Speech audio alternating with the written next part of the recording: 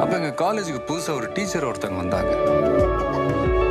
அக்கா மக்கா அப்படி ஒரு லவ்டா அந்த கண் பார்த்தாக்கா லவ் தானா தோணாதா? அவன் கிட்ட